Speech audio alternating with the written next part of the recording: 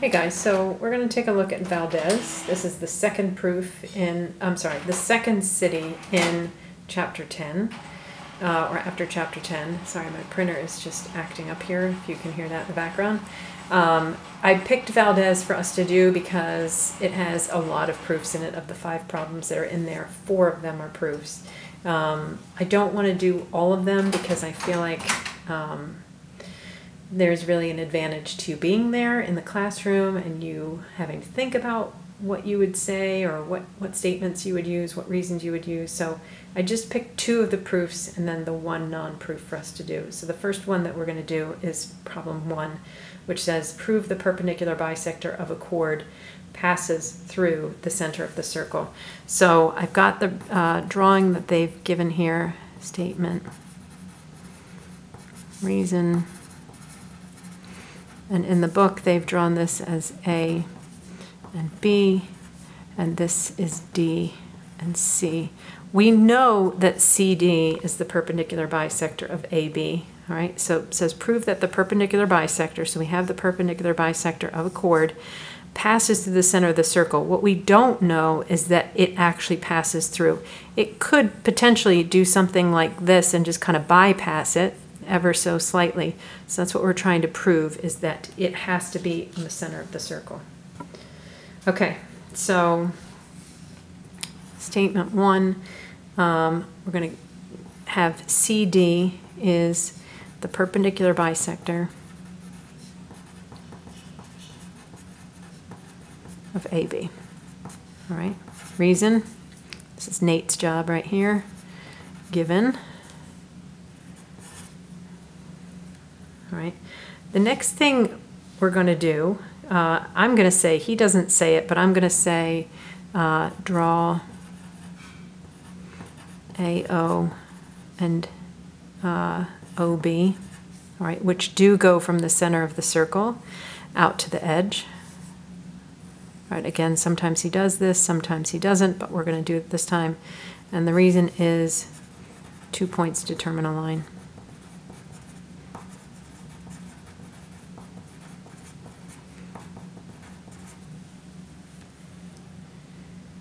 Okay. Again, we, we touched upon this last week when we were in class, um, and we said that this is a, a very typical thing to do when we have a circle, is that we can draw to any point on the edge, and we know that when we connect the center to the edge, it forms a radius, and they will always be congruent. So we're going to say OA and OB are equal. All right, reason is because all radii are equal.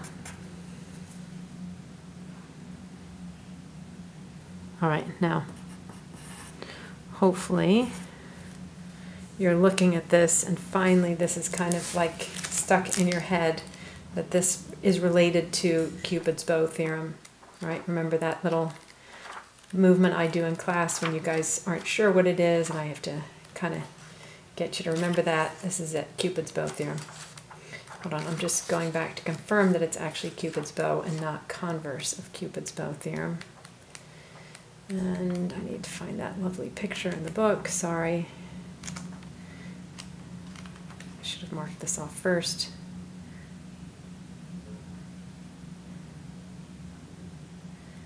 All right, uh, converse of Cupid's bow theorem says if any point is equidistant from the endpoints of a segment, then it must lie on the perpendicular bisector.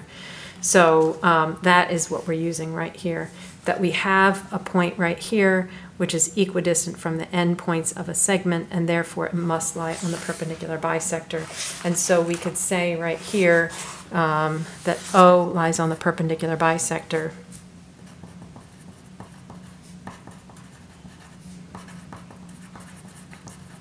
And you could say converse of Cupid's bow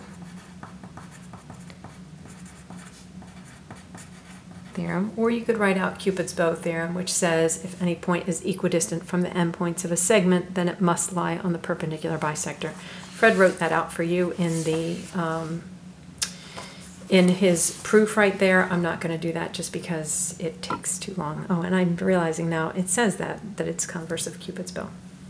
Okay, uh, that is problem one.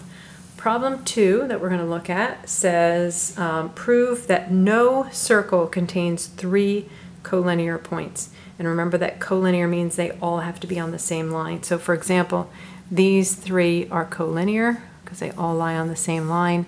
These three are not collinear because there's no single line that can go through all of them. A line could go through two, but not all three. All right, so our statement and our reason and uh, our given is going to be, we have three distinct points, A, B, and C on circle O. And again, generally they call a circle by its center, and most times they call it O, so you'll see a lot of circle O's. All right, reason, given. Okay, now we have three points that lie on a circle. So let's say that we've got A, B, and C, right, that lie on the circle. Um, we're trying to prove that these, uh, that we cannot have them be collinear. So the best way to do this proof, and again, we have not done many of these, and some of the others also are of this format, is uh, proof by contradiction or an indirect proof. So how can we prove that they're not collinear? Let's assume that they are, and we'll end up with something that's just garbage. So assume A, B, and C are collinear. All right. Now, reason, again, if you remember when we've done these before, this is the beginning of an indirect proof.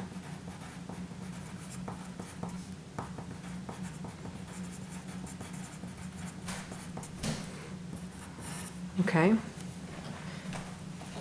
Reason three. Um, so from the last step, or the last proof, we learned that the perpendicular bisector of each of these, right, so the perpendicular bisector of AB must cross through the center of the circle, right, so let's just draw that about in here, perpendicular bisector, and the perpendicular bisector here of BC must also cross through the center of the circle. All right, so we're going to write the perpendicular bisectors of AB and BC must um, uh, sorry, I'm going to do these steps in the reverse order. They must um, both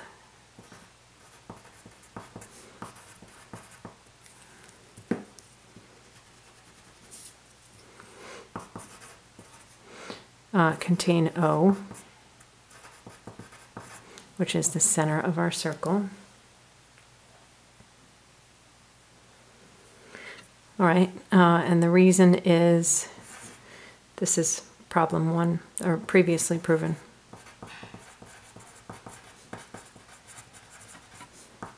Number one. Right, but we also know, because we're assuming that these are on the same line, that they're collinear.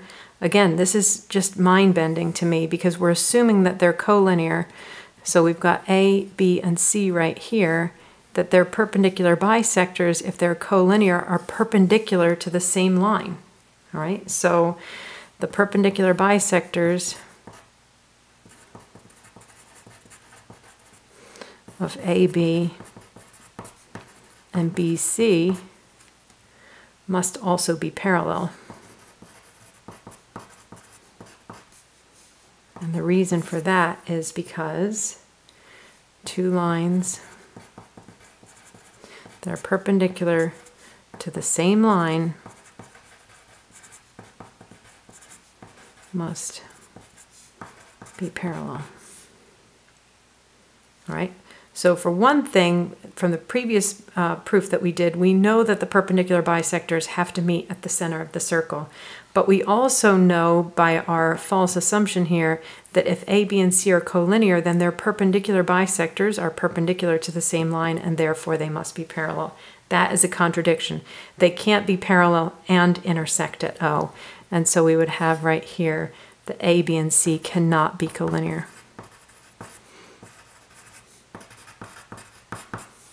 Are not collinear. And the reason is contradiction in steps three and four.